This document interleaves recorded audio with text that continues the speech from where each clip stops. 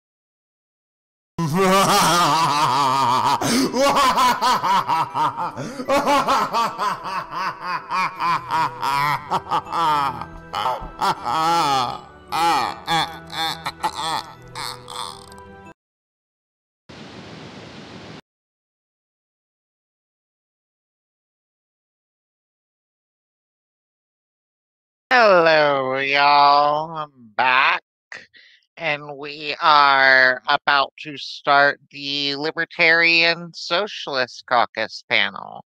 The Libertarian Socialist Caucus of what, you may ask? Well, not the DSA, the Libertarian Party. Without further ado, welcome. How are y'all tonight? Doing great. How are you? Oh, Fantastic. pretty damn you? good. Oh, fantastic as well. You look tired. A Little bit, but also still actually enjoying myself quite a bit. This has been That's a good. really, really, really fun day. And a lot of it's been cool to see how everything interconnects and even across the diversity of our uh, participants. Yeah, for sure. Does the does the skeleton have a name? It does, but ah, it's not important. Okay. okay. All right. Fair enough. Ah, so, anyways, we are members of the Libertarian Socialist Caucus of the Libertarian Party. And yeah, I. What, do- what did we say? We would start with introductions and then. Yeah, let's do an introduction. I am Logan Marie Glitterbomb, if you did not know already and are just tuning in. She, her, um, you know, all, I helped found this caucus, but before that, I was and still am a, a writer and fellow at the Center for a Stateless Society, among other things, and uh, and a member of the Industrial Workers of the World and all that fun jazz. So, yeah, one of y'all. You can go first, Mike, if you want. oh, go ahead, Paul. Okay. uh, so my name is Paul, uh, and I am a actually a dual member, not just of the Libertarian Party's Libertarian Socialist Caucus, but also of the DSA's Libertarian Socialist Caucus. Um, I am an at-large member of the executive board of the Libertarian Party of New York. Um, a the campaign manager for Stacey Prussman, who's running as a, Libertarian candidate for mayor of New York City. Um, and I've been in a, just a, uh, too many different positions within state, county, even a few things on the national party level. Um, and I've I, I, I like to think that I'm a I'm a big believer in the horseshoe theory of uh, of idea quality, where if an idea, you know, some ideas are so good that in practice are kind of bad ideas because they're too idealistic. Other ideas are so bad that they cycle back around into being good. And that's kind of how I feel like the Libertarian Socialist Caucus of the Libertarian Party is. Um, because for most people, when they hear that phrase, they think three things first. No, stop it. What are you doing? And yet, uh, the caucus has actually had a surprising amount of success, especially in um, especially in convincing people who would have presumed that you were making it up when you said the phrase libertarian socialist to not only see the ideology as valid, but to genuinely approach libertarian socialists as allies in attempts to fight against the state, um, despite often un- mis- completely misunderstanding us or, or sometimes tokenizing us and, ter- and uh, all, all sorts of uh, problematic ways that libcaps often interact with us. There really has been a culture shift in the Libertarian Party where having the real libertarian left um, become a part of the party has allowed for a, a, just an entire different mental conception of what the party is to libertarians. And I think that's been like really important work that, that this caucus has done.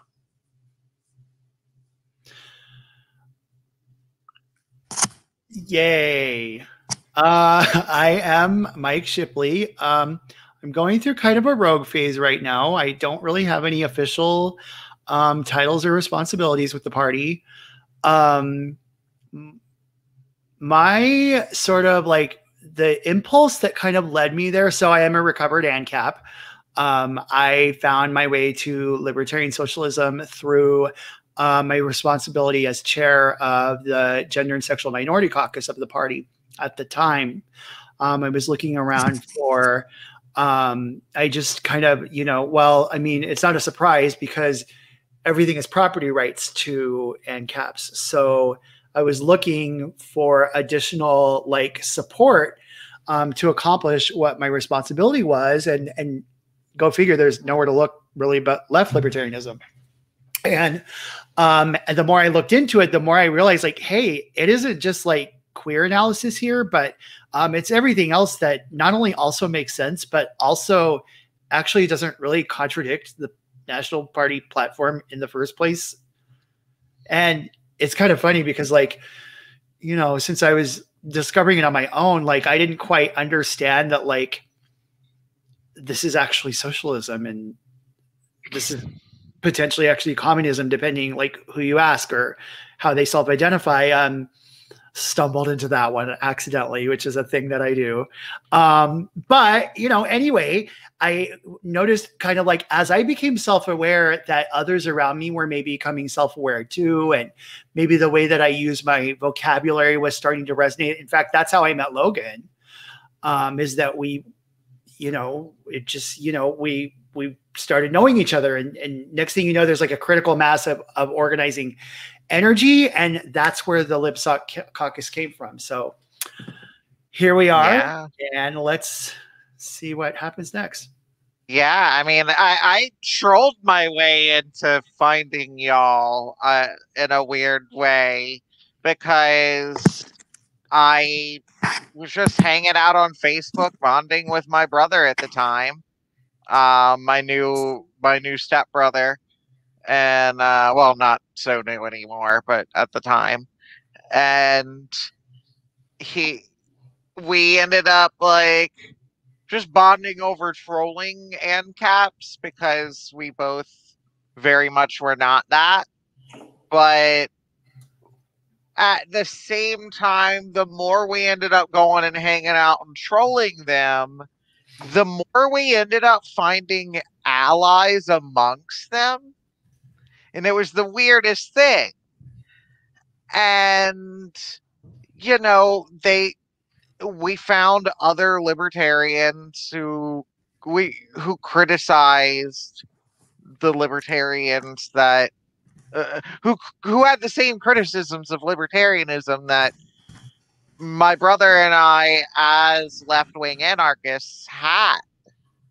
And so we realized there was an opportunity for outreach, there was an opportunity to find allies, and that we could indeed actually use this as a avenue for that. Um, and still troll the hell out of the, you know, shitty, vulgar libertarians.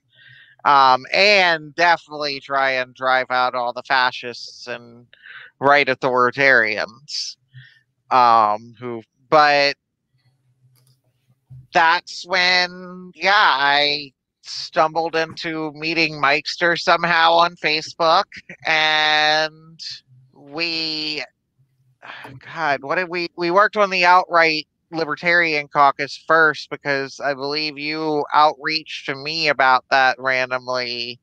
I think you added me, and then you asked if I could help you uh, come up with ideas to potentially rewrite the platform to be more radical and more queer focused because at the time you were worried about the fact that it basically was just an attempt to sell paleo libertarianism to uh, to the queer community without actually asking in the queer community what their needs were. So that's when you know I saw an opportunity. I don't really care about political parties as much, but if I could help shift a caucus towards a much radical, a much more radical platform and a more queer focused platform, then that was something that was good. Um, so I definitely enjoyed the hell out of helping with that. And it just kind of cascaded from there. I think the Povertarians happened after that, or I, I, I don't know if that was already a thing, and that just my No, you're right. involvement You got, got, it. yeah.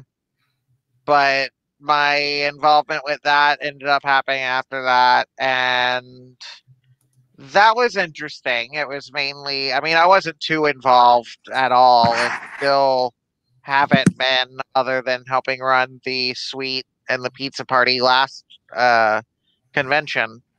But it was it was interesting, and I like the idea of recentering libertarianism of the working class and making it accessible to them, regardless of where they lied on the economic ideology spectrum. It was more about making it more available to to people based on, you know, uh, regardless of class, um, and making it more accessible for working class people specifically, who are often not catered to in libertarian circle in right libertarian circles. Um other than being told to become an entrepreneur or an agorist. Um Exactly. know, it- exactly. oh you don't have you don't have the money like find a venture capitalist or or do a fucking crowdfunding campaign come on it's not that hard like sure, it's not hard for you. You had your parents helping you and shit, or you had friends who inv- who invested in you. Like, not everybody's got that shit. You know, some people barely got people they can rely on, let alone anything like that. Um, so it's definitely it was definitely refreshing. And then after that we saw the uh audacious caucus after the great James Weeks stripped for us the first time. And when I say the first time, I mean you should come check out the cabaret on Tuesday from 10 a.m. to 10 p.m. Central he, uh, on dlive.tv slash coup de gras, as well as on a number of other platforms. Uh, possibly not Facebook because the cabaret does include some nudity. But uh, yeah, so not Facebook. But we will have um, it on the Reeducation YouTube channel and hopefully Vermin Supreme's YouTube channel on Twitch as well. So we're super excited for that. Anyways, enough plugs. Hell yeah.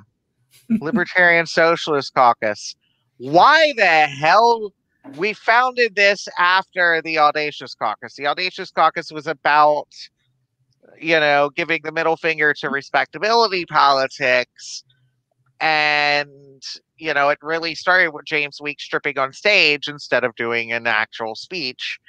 And it was it was beautiful and it, it escalated to us waving dildos on c-span which was absolutely wonderful me and my partner enjoyed that and jeff wood was wonderful company Best Um, content C-SPAN ever had.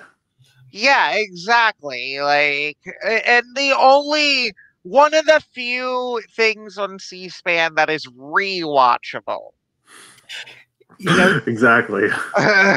but like it, it's got good rewatch value. But I, I don't know. Um, yeah, why the hell did we choose to, after the Audacious Caucus, go into starting a Libertarian Socialist Caucus? Well, I was going to say kind of a it's a, on a perfect um, kind of on that segue. Um, in terms of like what ended up becoming the Libertarian Socialist Caucus, a great sort of historical relic. Um, and it was kind of funny. Recently, someone like re- they were like, "I read the Audacious Caucus. and It's just a bunch of ANCAPs," and I was thinking like, well, because back in the day before we all became left libertarians, we were using the non-aggression principle like as the only tool that we had um, against the moderate Republicans and paleos were really super conflated with each other, and a lot of there was a lot of crossover with ANCAP vocabulary, but it was the non-aggression principle that they would fail to like really apply. So we were using that for our accountability tool. So I say that because if you look at the Audacious Caucus platform now in retrospect, the idea of someone describing it as like a bunch of ANCAPs, I went and looked, I was like, oh yeah, that's when we used to promote what we later found out were LibSoc priorities using the non-aggression vocabulary. And I say that in answer to your question because um, you know that is eventually that's kind of like a uh, the the nap will only get you so far. It doesn't get you all the way to exploitation.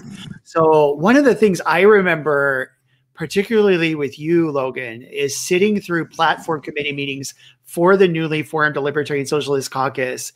And I, something that we did that I still think is one of the greatest strokes of genius that we accomplished together, which is coming up with the non-exploitation principle. Yes. So we came up I- with a way to frame the LibSoc narrative as a deontological uh, Axiom. Frame, axiom, an axiomatic thank you foundation. And If I'm going to interrupt really quick, uh, I think do. we have a fourth person who is waiting in the, uh, I in the did lobby. not notice. Give me one second. Oh, There we are. Hello. Hey. Hi.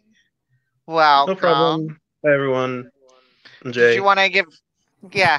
Do you want to give yourself a short introduction of like, you know, Yep. how you got involved and stuff? Yes. So I'm relatively new, I'd say, compared to some others here, uh, new to political activism in general. You know, I've I've been a libertarian socialist for a while, but as someone who leans more towards mutualism, I never felt like there was a place for me. But when Vermin Supreme was running, I learned for the first time that there was a socialist caucus of the Libertarian Party, you know. And, you know, so I, I joined, volunteered for the Vermin Supreme campaign, joined the Libertarian Socialist Caucus. Now with the Vermin Supreme campaign, you know, over for for 2020, I'm, you know, trying to participate more in growing the caucus and building up libertarian socialists in the party.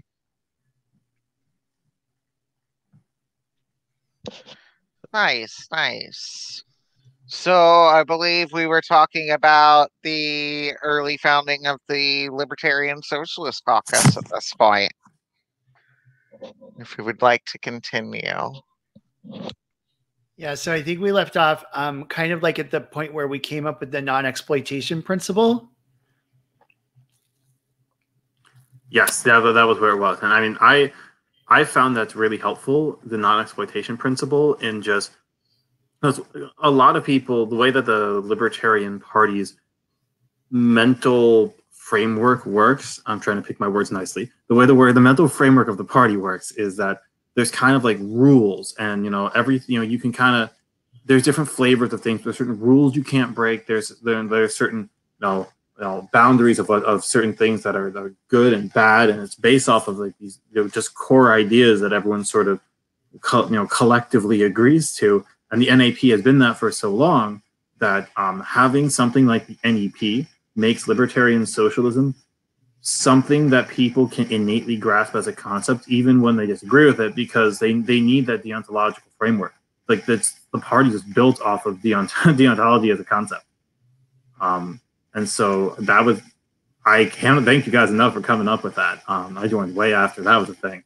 I found that to be so insanely helpful instead of doing the normal lib left, you know, 10 paragraph level explanation of a simple of a simple concept. I'm able to just take that image you guys made of the NEP, just post that, and everyone pretty much gets it. Yeah, I think the huge like it, it enabled us to say, hey, we're not trying to change liberty or take away from it. We're just adding this to it for us. And what do you say to that? What do you say to that? Here, here's a link to the full platform. If you see any violence there, let us know. Otherwise, I we're good, right? And yeah, well, I guess we're good.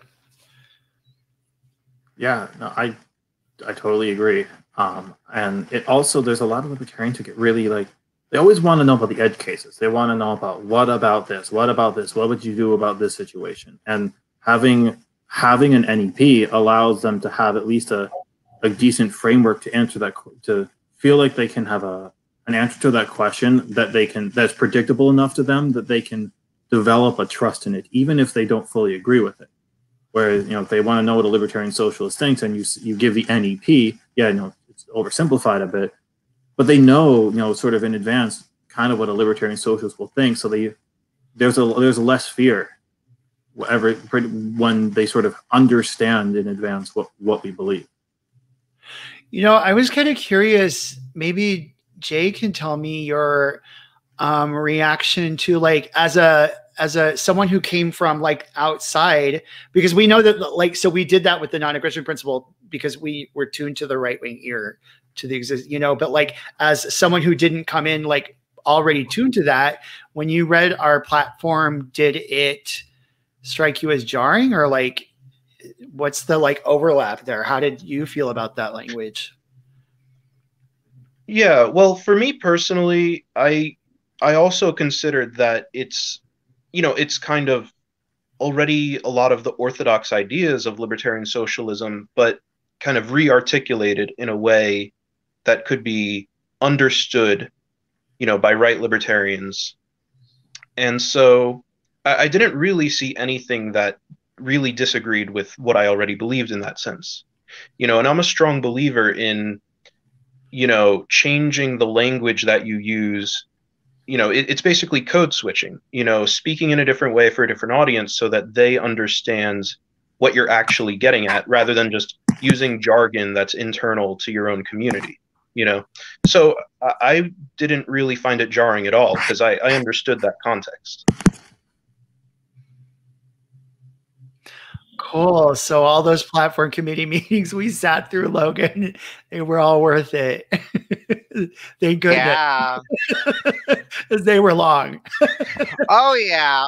Well, I mean, uh, so the way that I have always approached this committee, and one of the things that we didn't actually mention before as part of the founding, and actually often gets overlooked, honestly, even by us, because the Socialist Caucus essentially became the face of this, more or less.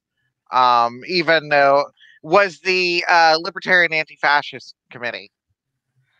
Um, the Libertarian Anti-Fascist Committee, while not purely libertarian socialists, and that's a good thing, um, and that Anti-Fascist Alliance still very much exists. Um, and that's kind of become the bottom unity alliance in general. That of like sympathetic ANCAPs and uh, libertarian socialists who are willing to work with them. And it's been interesting. Sometimes there, I mean, there are definite disagreements, and it is interesting to discuss them. But one thing that I found is that they're a lot closer than I thought they would be a lot of the time. And the other thing is like not only when I was, you know, uh, uh not only when I was on Facebook with my brother on a lot of libertarian groups trolling, I ended up um I very much ended up finding a lot of people who I already agreed with, eh, but also I found a lot of people who were receptive to libertarian socialist ideas, even if they didn't already agree with them. And that was the interesting thing for me. And I know, Mikester, you were kind of on the fence too originally. I mean, if anything, you were one of the Libertarian Socialist Caucus's first projects. Uh, I um, was. c- yeah, counter recruitment project. Um, Well, I would. I if you're referring to like the debate over the name, what we should name the caucus, is that what you're thinking of? Yeah, yeah. Because Oh yeah, I did not want us to be called the LibSoc Caucus, and I remember it was so funny because like I was, I was out that day and I was busy with other stuff, but I thought there's no way, and so I'm sitting there.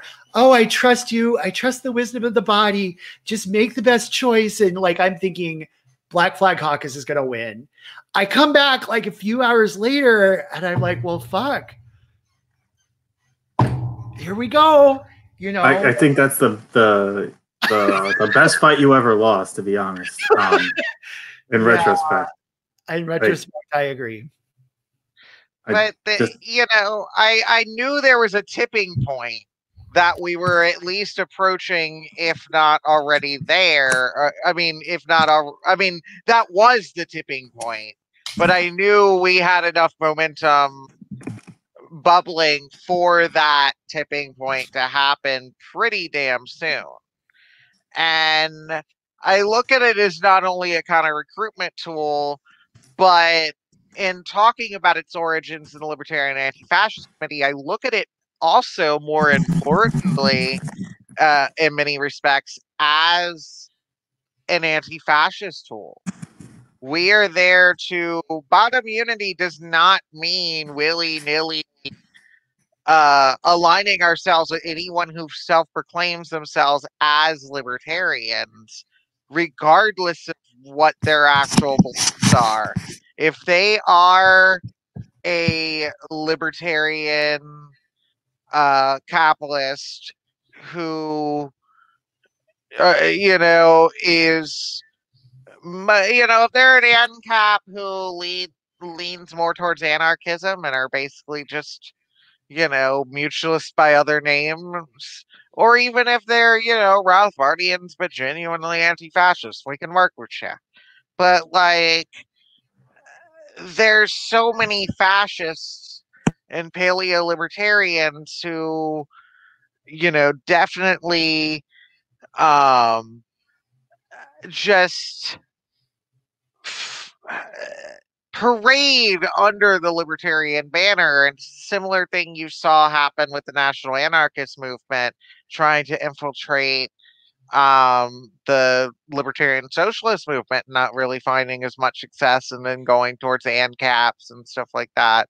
Um so it's really interesting but i've seen it as a successful anti-fascist campaign in many respects because I mean the anti-fascist committee was founded when Richard Spencer came to the last International Students for Liberty conference before it was renamed LibertyCon. And Mikester and I were there. Richard Spencer tried to interrupt the event and stage his own fake panel in the lobby and Students for Liberty tried to kick him out. Um, there was questions over whether he could or not because it, whether anybody could or not because it was public space. Eventually, he was escorted out by security after a bunch of people yelled at him, and it was really disappointing in many many ways. And um I don't know. I but at the same but it was really really satisfying to see the response in how people did shout him down and he had to be escorted out. You know, but it was disappointing to see that infiltration. Um so that was a really big coming together moment in figuring out who was our anti-fascist comrades and that ended up being a lot. I mean, with Richard Spencer, it was easy, you know, but then it ended up testing us as we started calling out other figures like Tom Woods and, uh, you know, and like Ron Paul and all these figureheads that, like, people that right libertarians take for granted, but it took a while to build up to that. It took just getting libertarian socialism accepted too, but also the you know those were side by side things that between the fascist commit the libertarian anti-fascist committee and the um, libertarian socialist caucus kind of jointly working together in anti-fascist work.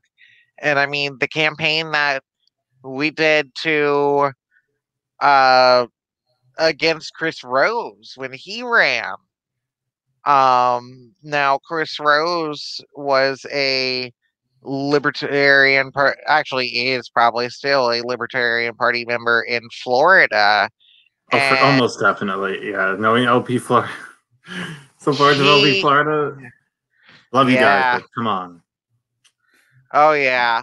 But no, now I get to deal with LP. Uh, now I get to deal with the uh, Libertarian Party in Louisiana, and uh, well, this is the state that gave us David Duke, so we'll, you know, it's it's interesting. But surprise, there are some surprising allies in, you know, both both states and I really, you know, have found some good allies in the LP, surprisingly. Um, especially the part of Louisiana that Kudamain is in, as Really? far as, yeah, it's the only real thing going on besides some really liberal Black Lives Matter rallies Okay. and by and by really liberal, I mean like they still invite politicians to come out to all their rallies to speak. I see. I see. I, I, I do think that there's something else that you guys did that was um, that was that very helpful, uh, and that is you redefine the Overton window of what is called left in the party, because uh, with the you know with the formation of the Libertarian Socialist Caucus, and then sort of it getting kind of memed into everyone's brains across the party out of their this inability to stop sharing our content out of panic about the fact that we existed. Um, what it, what it did was it took a lot of people who might have otherwise been concerned about being the left side of the party, of being you know, too liberal, too too left, who who were just normal libcaps who who who never joined the Libertarian Party with the concept of promoting a pipeline to fascism. You know, those people no longer had to be concerned about being the leftists in the party. We kind of gave them the space to to be able to feel like they didn't have you know that pressure of being the the lefty in the party anymore when they were saying no i'm a lib cap but you know but what is this what is this nonsense with promoting people from the league of the south? You know they it, it gave a it gave a lot of room and it, and it freed up a lot of people who were under that that sort of kind of like social pressure to not really yeah, protest too much. And, and it, i think that that was is hugely important because i mean I know that this is an opinion that isn't what necessarily shared by everyone here, but at least I hope you can understand where I'm coming from with it. I think that like within groups like even like the pragmatist caucus for all of its flaws, you know, by having there being a libertarian socialist caucus, those people are no longer considered the left of the party for the fact that they are, you know, even if they sometimes suck at the implementation, at least, you know, very much ideologically and, you know, in terms of what they post online, opposed to to the pipeline, opposed to people like uh, Smith, people like Woods, the Mises Caucus, and that's happened because we showed, you know, that you we showed first that libertarian socialism is a real thing with its own whole set of beliefs, and that the lib left is an actual thing that isn't just libertarian capitalists that aren't outright racists. And then on top of that, we we by sort of have providing and, and this is something I'm not as good at, but you're much better at, Mike. Uh, providing a sort of radical, you know, fuel in trying to, you know, take the blowtorch to to the uh, attempts, sort of, you know, if not cover for the fascists in the party, like like not push that hard back against the people willing to, you know, be okay with them. Um, that sort of, you know, allowed them to be the people who, because they were never going to push those people out directly themselves necessarily, to be the people that would, you know, follow up and and you know after we after you guys did the hard work of of, of exposing who these people are and whipping up consciousness about them, then going and you know voting those people down. And I don't know if that would have happened if it weren't for things like the anti-fascist caucus, like the audacious caucus, and like the libertarian socialist caucus. You know, I was thinking about that myself earlier because um and I this is probably a good moment to like plead to the audience that like this is exhausting work. It does require a lot of patience. Um, so if you're listening and it resonates to you, that like it would really be fun to kind of like, you know, trigger the far right or whatever about it like why it might appeal to you even if you just want to come into the like online social spaces and you don't want to join but like at least back us up because we get burnt out and I say that because like recently a bunch of us all at once decided we're not burnt out anymore. Um, and it's amazing what just a little bit of effort, like it, it's like we see all these different projects sort of like crystallize back into like the roles that Paul just really explained really well. And like I forgot how like sort of symbiotic those different like it's almost like a little i don't want to use the word machine because it is very spontaneously ordered and it all happened just like naturally and flowing and it's it's an organic thing that we just like no one premeditates it but it's cool and it has these different pieces and they do exactly what paul was just saying and the libsoc uh, industrial caucus we have a libsoc industrial complex it's an anti-complex or I don't know what you want to call it, but it's cool. It's really fucking cool. And um, please join because we need you. Bad. Yeah, I mean, when Meister talks about it being, you know, stressful work, um, it. So when I went to my first Libertarian Party meeting in Gainesville, Florida, when I lived there, like that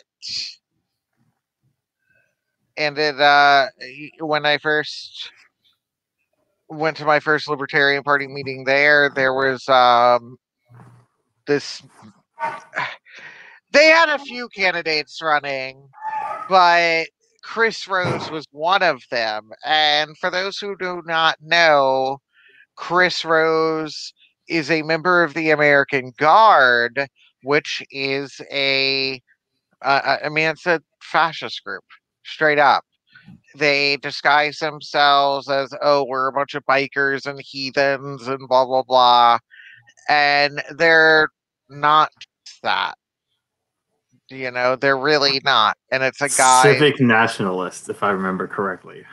yes they are they explicitly describe themselves in a, as a civic nationalist organization and uh, they, chris rose is you know, sitting there, we're talking about his campaign, and the man's wearing five different Confederate flags and has a Confederate flag phone case and wallet and a keychain. Like it was. That's excessive. Like you could have stopped. He, he would have stopped at three of them. He didn't need all five. Yeah, and he should.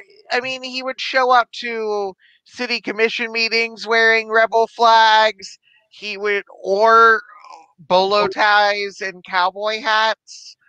Um, The cowboy hat thing is a little cool. yeah, it's it's ridiculous. He also has a baby face, so it always looks so funny whenever he wore it. To be honest, um, but not to you know, it just it just was an odd clothing choice for his his body, um, his face. I mean, but it was interesting. Um, the hat specifically because it just sat weird, but he he showed up to city commission meetings all the time to defend our local Confederate statue, even though it was on public land being paid for by tax dollars. And libertarians think taxation is theft or something. I don't know. And so it's definitely. It, it was definitely a moment where I had to bite my tongue completely and just sit there and take notes in my head because I realized at that point when they were that far into this dude's campaign, I wasn't going to stop them, but I wasn't going to stop them from running him and he wasn't going to stop running himself. So we ended up running one of our other friends who is a libertarian socialist and at the time was the coordinator of our local anarchist info shop in the area, the Civic Media Center, um, second largest info shop in the or second longest uh, running info shop in the U.S and it's it was amazing seeing her be able to run a campaign while being the coordinator at InfoShop and being a student. Um, it was a soil and water commission campaign.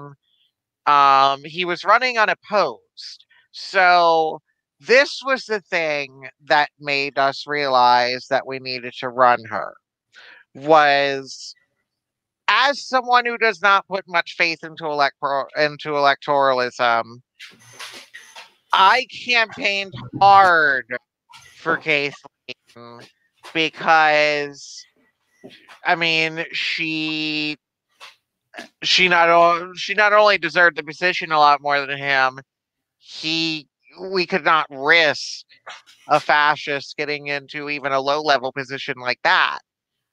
And so we ended up really pushing hard and i had a lot of encouragement from the libertarian socialist caucus and some endorsement for members and such. So it was really it was really interesting to see Libertarian Socialist Caucus folks working, you know, like working and supporting a non-libertarian can- party candidate when it meant combating the worst of the libertarian party as it is today. And I am under no um like il- illusion that we are going to take over this party or that this party is even salvageable in my opinion. But I do think that there are a lot of good people worth reaching out to.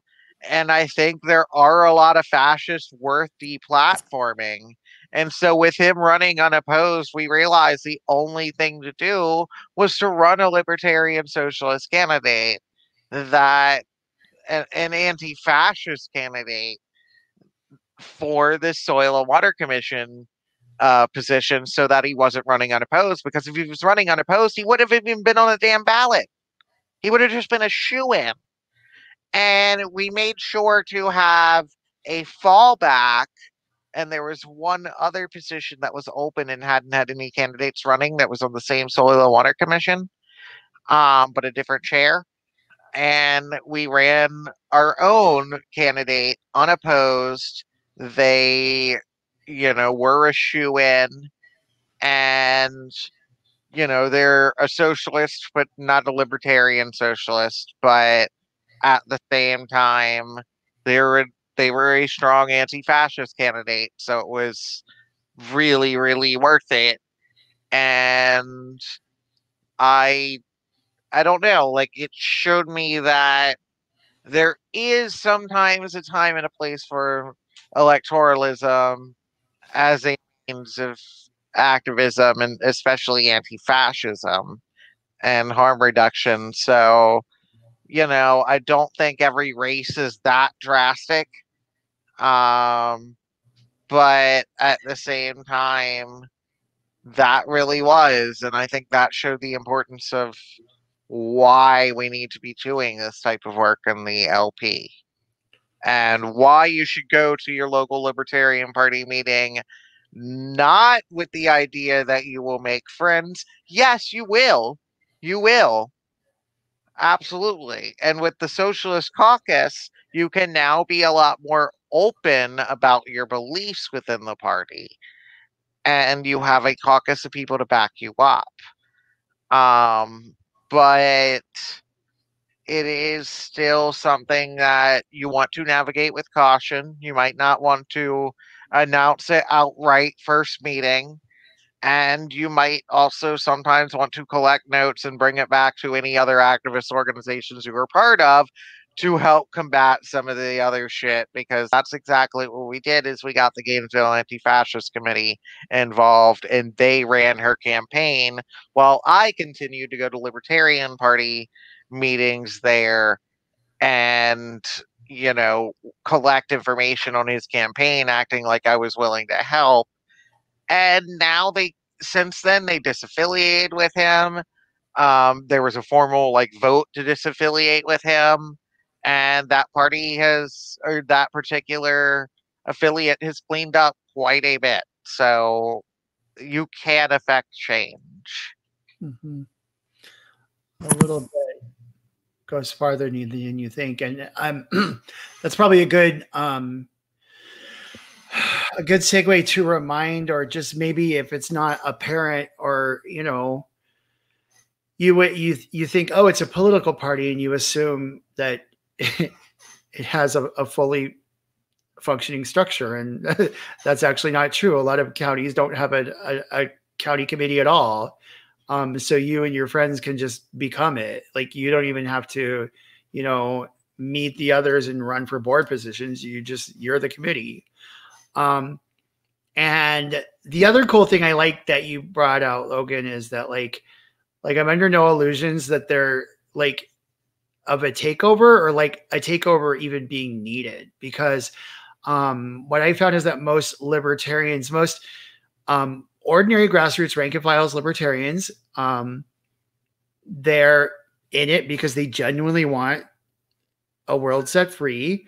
And the more you introduce them to like the analysis, not so much the labels, because sometimes they like, I'm not a socialist, I'm a capitalist. Well, like, okay, but like it, when you get into the analysis, like they still like they, they like it. They actually like it. And so they, they love it. Yeah. half the time, like I, the craziest thing is, I think anyone who's hung around people in the Libertarian Party that are uh, try to justify their beliefs, and when you ask about the question of, well, won't this just result in you know the rich controlling everything? They talk about their opposition to crony capitalism.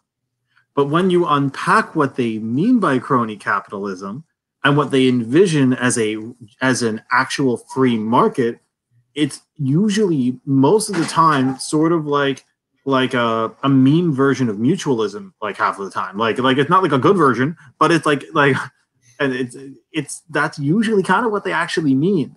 And uh you know i i totally agree with what you're saying that there's so many more people in the party that are a lot that don't even really grasp that in practice they're actually pushing for what in the what in reality if it was ever implemented is actually anti-capitalism. I do think the people who are talking about um i think the the the, the conservatives or like real conservatives i'm not talking libertarian party who talk about the libertarian party the libertarianism will actually breed socialism i think they they're actually correct. And that the, the lib caps who who push back and say no no it doesn't. You know we're pro- promoting freedom and free markets. I don't i don't think they actually understand understand what they're actually promoting. yeah, I actually go back and forth between wondering if like sometimes I like I'm really mad at Rothbard, like why the fuck did he try to flip the capitalist script? And then I I went like maybe he was an evil genius and like because if you think about it, like he tricked them into like Paul said, essentially promoting anti-capitalism uh, on, on like not knowing it, not knowing it. And I think that's funny. I, I think he eventually sadly lost his mind a little just because of how how deep he went on that. Um, yeah, his his late life is a little unfortunate. To see how close Rothbard really was during his leftist years. I mean, sorry, how close left Rothbardianism is to real anarchism because actually looking through Rothbard's left years, there are some problematic things looking back in retrospect, such as his advocacy of the Black Panthers being more about how uh, it was it was still very much coming from a racist point of view of they Eh, you know, at least it was eh, it was very much eh, you know he was very much able to reconcile his views of supporting the Black Panthers and David Duke on some nationalist bullshit because he said that they were more nationalist than Marxian, and that was that might be his, the worst take on the on, on the Black Panthers I've ever heard outside of Ronald Reagan's. Holy yeah, and so it's like I mean, his support for David Duke didn't become a, an explicit thing until later, and I'm not sure whether it was a thing that not when it, you know, before we knew about it explicitly. But like in his later paleo conservative days, and he started, you know, championing David Duke, and people saw that as like a very uh, uh contradictory point of view, for, uh, like a complete 180 from his advocacy of the Panthers. But when you look at his analysis, that you know, he thought, and, you know, he criticized them for turning away from nationalism and embracing Marxism. And that never happened. They were a Maoist organization to begin with, if I'm not mistaken. Yeah, did, did he just never listen to anything that they ever said? Like, did he just like get his view on them like because he saw a headline once? Like, that's that's a, that's a surprisingly unsophisticated take for him, given that even when he's wrong, he's very in depth about how wrong he is. That's that's pretty. I I do appreciate the analysis that while Marxist in rhetoric, they were far more libertarian in action in that they saw no uh, they saw no hope of taking over this state really so they didn't try to So they actually operated on a libertarian socialist level, even though they tended to be more authoritarian, you know, Marxist Leninist Maoists. Very And dual so- power. Yeah, so that's why you've seen them be such an influence on modern American anarchism to this day, especially the prison abolitionist movement.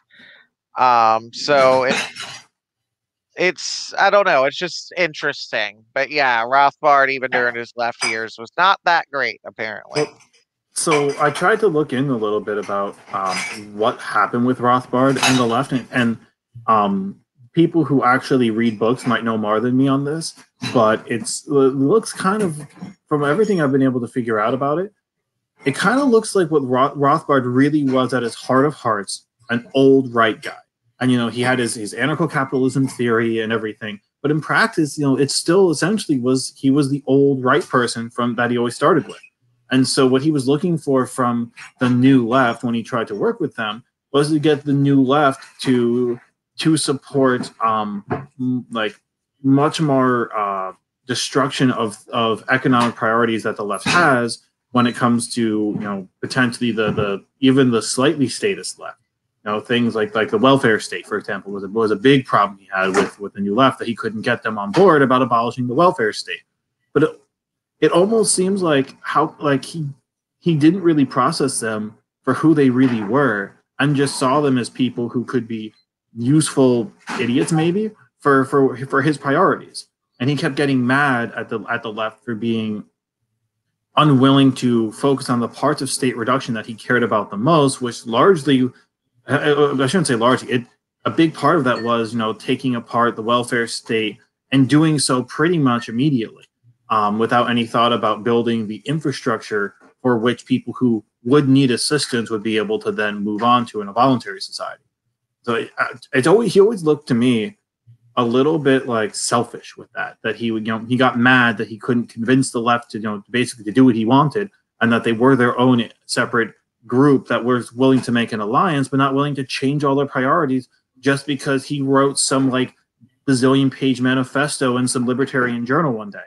Um, I'm sorry, that's probably a little disrespectful of him, I guess. Uh, but like that, that really is the impression that I've gotten. And when you look at with like his history with um with that that was that that Peace and Freedom Party that that thing uh, out of California um, that had like a, a libertarian wing and a and a, a democratic socialist wing. Where you look at the libertarians that were associated with the SDS, um, just the way that he these that his factions would always try to pull these uh, wild power moves over the left. It's I I can't blame the the people on the left who who interacted with him and his ilk for being like, "Fuck these people." Like I I, I can't. Mm-hmm. No, and I mean, my goal with this caucus was not so much to ever recruit leftists to the Libertarian Party. You know, in fact, the exact opposite to recruit right wingers out of the Libertarian Party. Um, but at the same time, to do so requires us to recruit some leftists to the Libertarian Party. Um, so it, it is a thing where we do want to make more of those alliances. We do want folks who are willing to do these type of this type of work. And you know, the people that we get involved from the libertarian right, it uh, you don't have to leave the Libertarian Party. Get involved with the caucus. Like just because I I don't and you know leftists if they want to run for office if they want to do things like do that you know just because that's my view of the caucus. I'm not the caucus. This is a democratic organization. The caucus is whatever the hell anyone involved makes it. So get involved. And how do people get involved Paul, you you've got the latest um, non-hiatus details. I guess. um, so they can get involved at in a few ways. If they want to act, sign up to be like a member of the caucus, they can go to bit.ly slash lsc dash lp, I believe it is. Let's see. Dash. Let me just check, make sure I got it right. Yep, bit.ly slash lsc dash lp. I don't know whoever is the uh, the admin on the on the StreamYard here. Maybe they can make a little little banner thing. Um, Tell me again. Sorry, I was checking in the- message for our next panel. no worries, it's in the private chat. Um, what that consists of is literally is just filling out a really basic um, you know little form. Part one. Uh, and then part two is they have to uh, take the link that's on there uh, for the free membership part of you know website in the Libertarian Party itself and sign up for a free membership with the party, which is a thing you can actually do. You don't have to even register with your board of elections, although you want to. definitely not going to say no, especially if you're in New York State, uh, definitely do that. But uh, if you're even if you're not, um, or you you want to stay in whatever party you're in, or you don't want to register with the board of elections, don't want to legitim- legitimize it, or or you're not there, you don't want to you know formally fully join the party.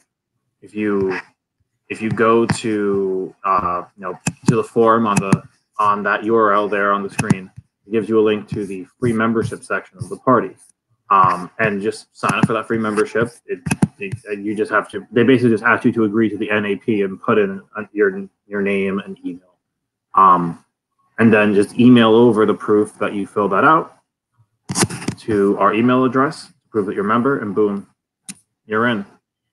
It's it's basically filling out two forms and emailing to us that you filled out one of those forms. We also have a Facebook group, a, a discussion group, which uh, you don't have to be part of the caucus to join. You can just join it. Um, and uh, chances are anyone watching this stream is definitely going to be admitted into it. Uh, called the LSC-LP discussion group. Uh, and we are we have you know a Facebook page, a Discord, Twitter, even an Instagram that will we sometimes post things to. A lot of different ways to get. Awesome.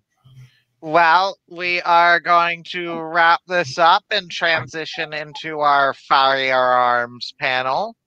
So definitely stick around for that. Um, I will be joined by an amazing uh, cast of armed leftists and libertarians. So, hell yeah, it was wonderful to have y'all on, and I'm glad we do this. Thank you so much for helping promote the caucus and doing all the work that you do. Hope Thank y'all you have a having us. happy Mardi Gras. You too. Happy Mardi Gras. Happy Mardi Gras. All right, y'all have a great one.